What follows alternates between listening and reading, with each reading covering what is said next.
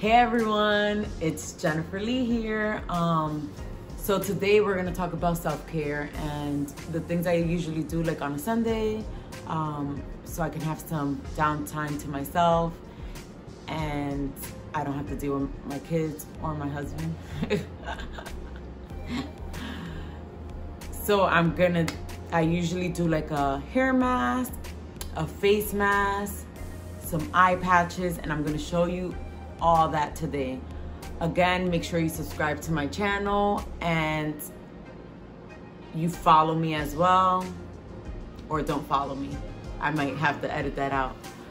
But um, we're gonna start now and I'm gonna show you the hair mask that I do. So this is a DIY um, and the mask, the inspiration was from Cardi B. Um, she did this hair mask um, and it's avocados, banana, honey, and a few different types of oils. I use avocado and castor oil.